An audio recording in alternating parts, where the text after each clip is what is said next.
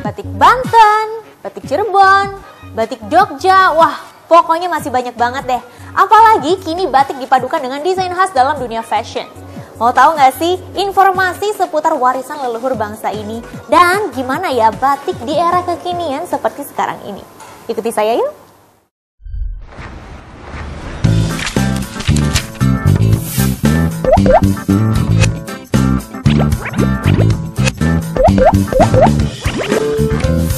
Woo!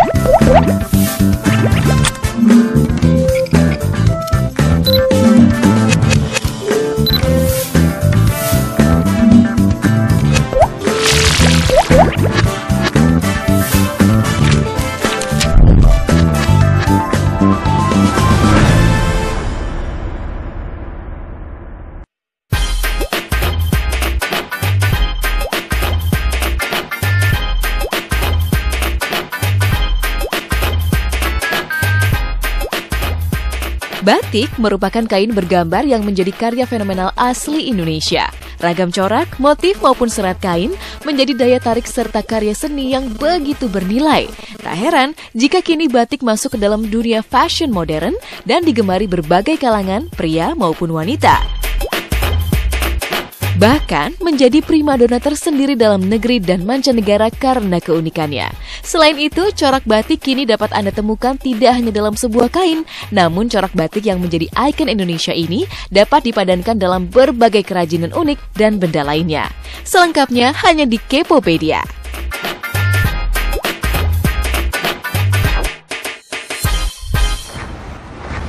Ragam kerajinan batik ini begitu populer di kalangan masyarakat. Bahkan dalam perkembangannya, batik menjadi begitu modern dan memiliki kesan presisius bagi si pemakainya dari dulu sampai sekarang.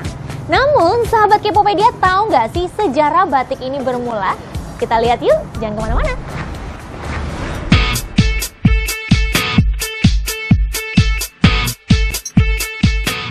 Sejarah batik di Indonesia telah dikenal sejak zaman Kerajaan Majapahit. Berikutnya di akhir abad ke-18, batik terus berkembang di masyarakat.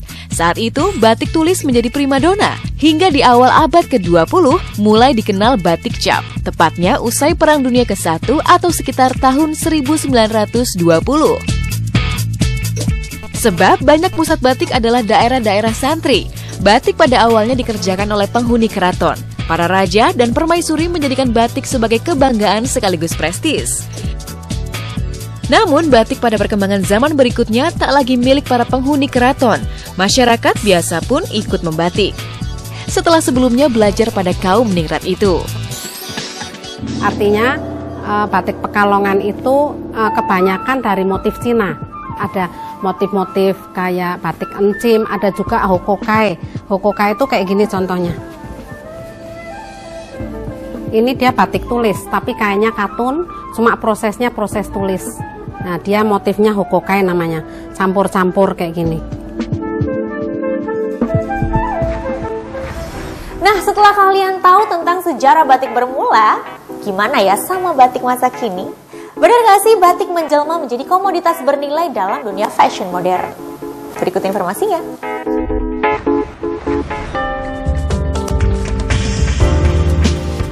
Kerajinan batik yang telah diakui UNESCO kini berkembang begitu pesat dan menjadi komoditas yang patut diperhitungkan. Seakan mudahnya, kerajinan batik ini masuk ke dalam dunia fashion.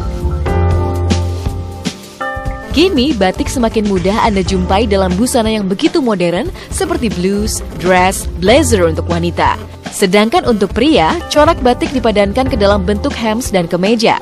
Image batik yang tadinya hanya untuk orang tua, kini berubah menjadi wajah yang lebih muda serta digemari remaja. Tak heran, ada harga khusus bagi Anda yang menginginkan kualitas terbaik dari kerajinan batik modern ini. Bahkan, ada harga premium jika batik itu adalah hasil desainer ternama.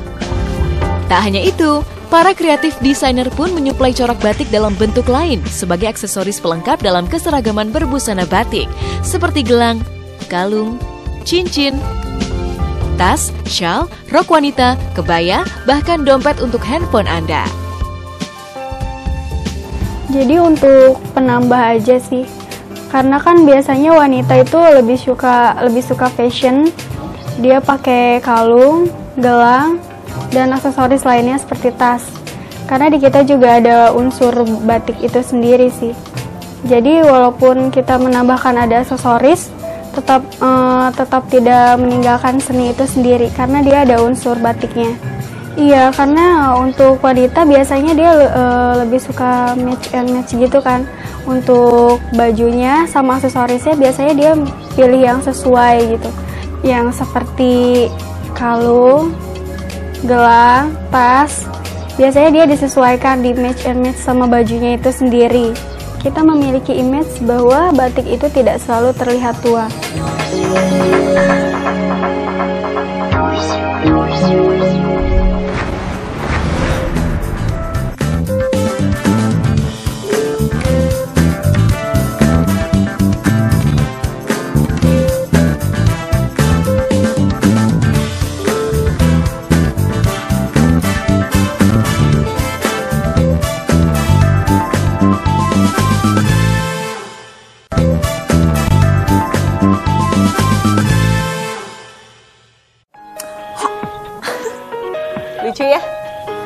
Kenapa sih harga sebuah kain batik itu begitu beragam? Ada yang murah, ada yang mahal, bahkan ada yang sangat-sangat mahal. Kira-kira apa ya yang membedakan antara batik satu dengan batik lain? Kita lihat yuk.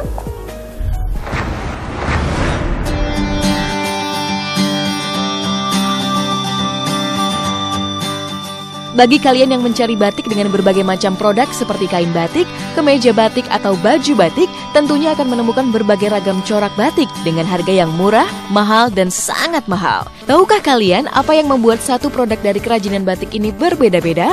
Berikut ulasannya. Kalau ini kainnya viskos.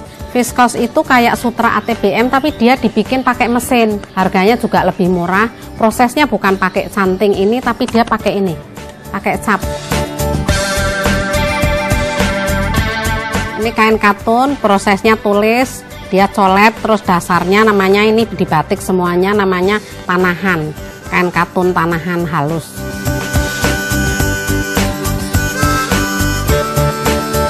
Ini namanya uh, kain sutra ATBM tulis. Jadi dibikinnya pakai uh, tangan ya, bukan pakai mesin. Kalau ini kain dobi, warnanya biasanya macam-macam warna dia. Harganya ini 175 ini namanya kain sutra ATBM tulis. Kenapa dibilang tulis? Karena dia dibikinnya pakai ini pakai canting. Dan dia lama sekali bikinnya. Ini uh, tidak semua orang bisa bikin batik seperti ini. Bisa diprosesnya tuh sampai tiga bulan. Satu kain sain sarung sama selendangnya tuh bisa sampai tiga bulan.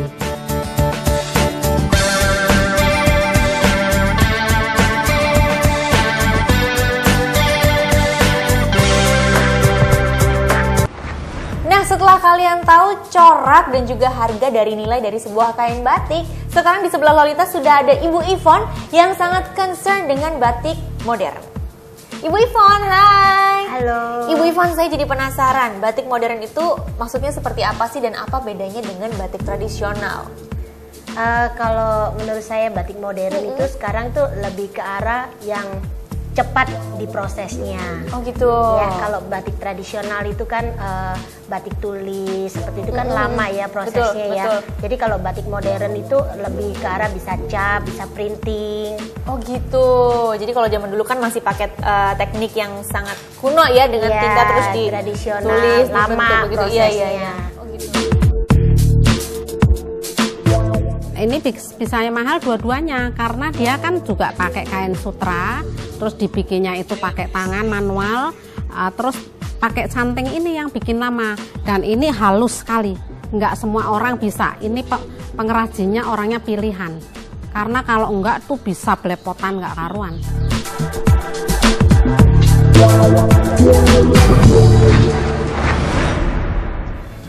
Corak yang mana ya? Yang cocok sama warna kulit saya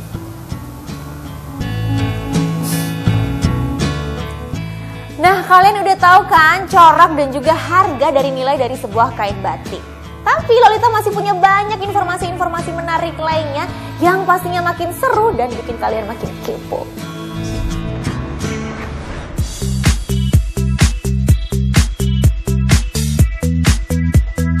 Batik tak sekedar produk kerajinan dan komoditas saja, namun batik pun kini menginspirasi beberapa kalangan untuk dijadikan sebagai kawasan wisata seperti yang ada pada kampung batik daerah Tebet satu ini. Di tempat ini, siapa pun yang tertarik untuk membatik dapat mencobanya. Dari para ibu, remaja, maupun anak-anak, sangat dianjurkan untuk mencoba dan berkarya atas kerajinan batiknya sendiri.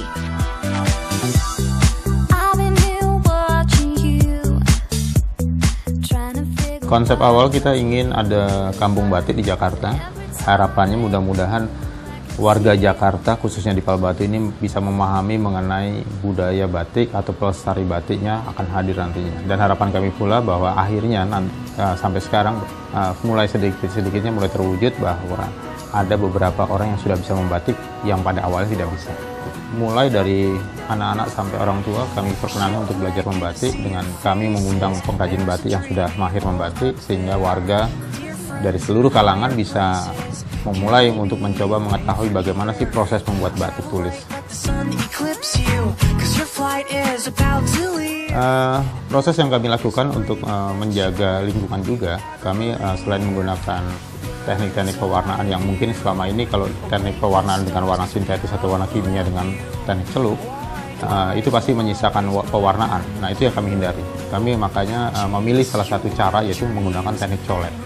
Teknik colet ini kami lakukan dengan harapan mungkin beberapa teman-teman yang ada di Jakarta ingin bisa memproduksi batik walaupun tidak dalam bentuk industri tapi minimal rumahan mereka bisa memproduksi batik yang paling tidak tidak mengotori lingkungannya dan harapan kami juga uh, ke depan kalaupun kami harus menggunakan teknik celup kami menggunakan warna alam dan ini sudah kami lakukan beberapa uh, belakang tahun ini uh, 2015 kita mulai bahwa kami akan juga menggiatkan kepada lingkungan di Jakarta terutama khususnya yang ingin membuat atau memproduksi batik khususnya para calon-calon uh, pengrajin batik atau calon-calon pengusaha batik yaitu dengan warna alam yang mungkin uh, kemungkinan besarnya ya adalah tidak mengotori lingkungan karena bahan-bahan bakunya sendiri dari alam.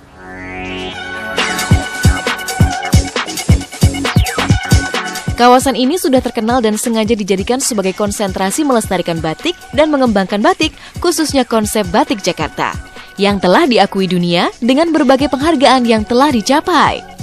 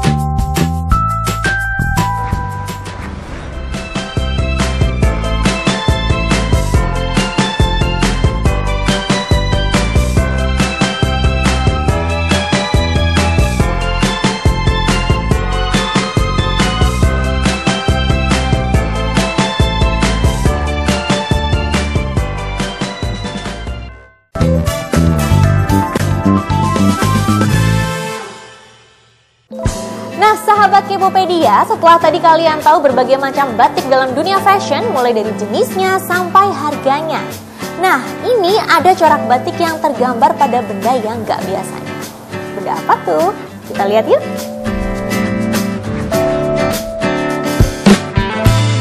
Di zaman modern ini, batik pun bukan lagi tertera di selembar kain, melainkan ada di bodi mobil yang membuat tunggangan bermesin itu terkesan eksentrik. Dan batik juga ikut mempermanis tampilan gelas dan piring yang tak lagi sekedar perkakas makan minum. Juga vas bunga pun makin cantik jika bermotif batik. Nah, zaman sekarang juga tuh uh, batik modern ternyata medianya nggak cuma di kain ya Bu Ivon ya. Kayak ini saya lihat nih nih. Iya betul. Di mangkuk ini juga menggunakan, uh, maksudnya tintanya juga sama yang dipakai di kain atau gimana? Sedikit agak berbeda mm -hmm. karena untuk ini medianya kan media pakai uh, kayu ya. Mm -hmm. Jadi uh, prosesnya juga sedikit berbeda dengan yang menggunakan kain. Oh gitu. Prosesnya bagaimana tuh, Bu?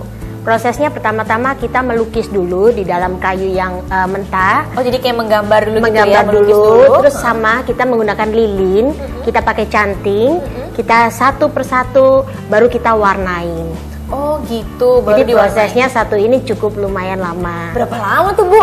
Ini mungkin bisa makan waktu bisa satu hari. Oh satu hari? Ya. Tapi satu hari bisa menyelesaikan satu bisa. mangkuk. Oh gitu. Jadi prosesnya nggak secepat uh, kalau medianya kain. Gitu. Iya betul. Oh gitu. Tapi lucu-lucu ya bisa ditaruh di tempat poin, tempat pensil seperti ini. Lucu-lucu sekali. Oke. Nah Bu, ini ada juga ibu gantungan kunci lucu sekali. Ini juga sama ya Bu ya, pembuatannya prosesnya cepat atau lama seperti uh, mangkok itu butuh waktu Karena ini space-nya lebih kecil, mm -hmm. jadi prosesnya pasti lebih cepat. Lebih cepat. Dan ini kita buat kalau orang mau bawa souvenir pulang ke negaranya yeah, dan yeah, sebagainya yeah. kan gampang, betul. tidak memenuhi koper. Betul betul betul. Wow. Nah ngomong-ngomong soal corak nih Bu, saya dengar-dengar kalau corak batik itu punya filosofi sendiri-sendiri, benar nggak sih Bu? Betul, setiap daerah itu pasti punya ciri khas masing-masing. Iya. Gak mungkin satu daerah itu ada men, um, menghasilkan batik, misalnya kita ambil contoh batik Banten deh ya. Hmm. Batik Banten seperti contohnya yang ini. Oh ini, ini batik namanya, Banten? Iya, ini batik Banten. Ini namanya batik Suraji. Batik Suraji? Iya, okay. jadi filosofinya -hmm. dia menggambarkan kejayaan suatu kesultanan sehingga sultan itu diberikan uh, gelar gagah berani. Oh gitu. Jadi setiap corak yang ada uh -uh. di sini pasti mengandung filosofi. Oh gitu. Jadi nggak sembarang bikin nggak sembarang gambar Enggak. gitu ya bu ya? Karena ini uh, ditemukan dari uh, fosil uh, dari kayak tanah liat gitu loh, iya, yang oh, digali okay. dari tanah ditemukan beberapa peninggalan beberapa tahun yang lalu. Beberapa abad yang lalu. Iya betul. Wow, ini juga ya bu ya? Kalau ya. ini dari? Nah ini Banten misalnya uh, dari Banten juga. Hmm. Ini uh, kita lihat coraknya seperti ini ya. Iya. Dia melambangkan ini Watu Gilang namanya. Watu Gilang. Iya, Watu, Watu Gilang. Gilang. Jadi di sini ada bangunan-bangunan ini mencerminkan tatanan kekeratonan. Oh, kekeratonan. Iya, di mana di sini uh, Arti daripada Watu Gilang itu tempat untuk pelantikan pelantikan pejabat-pejabat. Tempat untuk pelantikan pejabat-pejabat. Iya, jadi setiap batik itu pasti punya histori, punya filosofi. Oh gitu ya Bu, pantesan ya coraknya aja memiliki filosofi masing-masing. Nih, jadi sahabat Kepopedia, proses pembuatan dan juga corak sebuah kain batik mempengaruhi harganya. Kalau kita lihat coraknya aja memiliki filosofi masing-masing. Yang ini dari Banten. Sementara di Indonesia banyak sekali daerah-daerah penghasil batik seperti di Jogja, di Cirebon, di Solo dan juga banyak daerah-daerah lainnya. Jadi wajar ya sahabat Kepopedia kalau batik menjadi kebanggaan Indonesia yang mendunia.